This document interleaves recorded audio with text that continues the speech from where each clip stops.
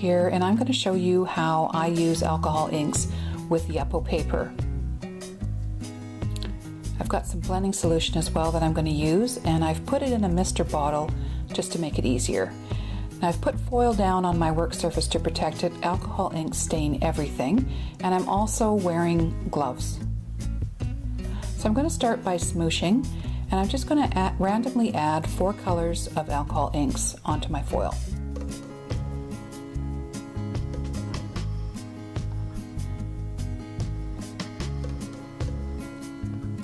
The last color is metallic silver and that has to be shaken up to blend it well before you use it. I'm just going to add a couple little drops. Now I'm going to take the Yupo paper and I'm just going to press it down into the ink, give a little bit of a twist and pat it into the ink and then I'm going to pull it up and I'll see where there's some blank spots and dip it down and press into the ink again. You can see that the ink is already drying. It dries really fast on the foil, so you have to be quick with this technique. So I'm just going to take some of that blending solution in a mister and I'm just going to give a couple of sprays just to reactivate everything. And I'm going to drop in a second piece and smoosh it. Again, this is the Yupo paper, which is a synthetic paper. It's almost like a plastic finish, and the ink just sits on top rather than being absorbed. I'm just dipping it in, and now I have two beautiful pieces that I can use for backgrounds or for die cuts.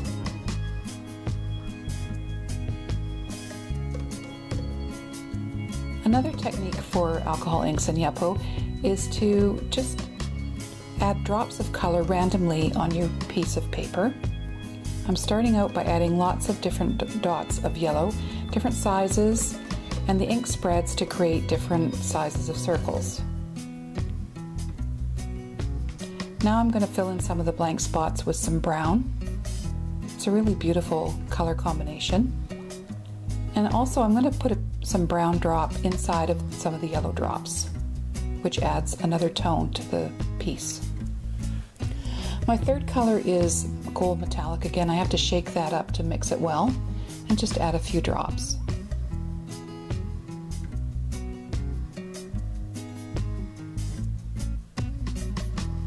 Now I've decided I'm going to add some more color and just keep filling in until the paper's completely filled. This will add lots of ink to your paper and since it sits on top you have to wait quite a while for this to dry. This will probably take about half hour to an hour and the smooshed ones they dry really quickly so probably in a couple of minutes.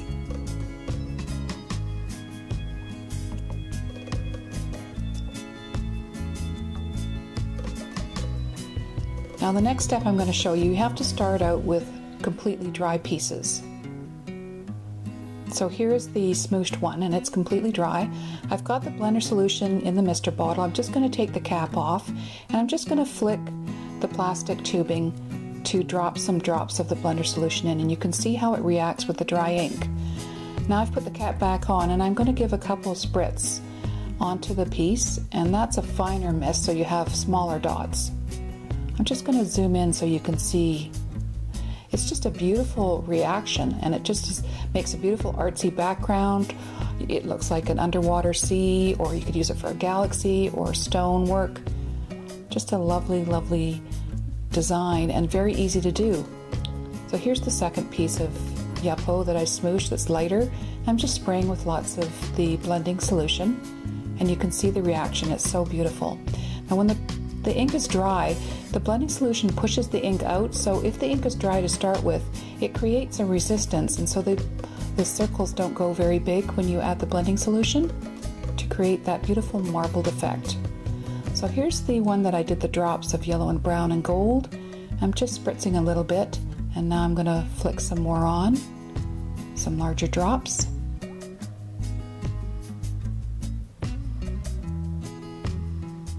And again, I'm going to zoom in so you can see the beautiful design.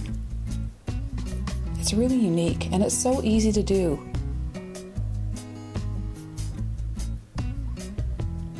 Now I have one more piece and I've done the drops of ink with the blue and green. And I'm spraying lots of blending solution. I hope you found this video helpful and if you did, please give me a thumbs up And I'm going to share some cards I made with these samples. And thanks so much for watching.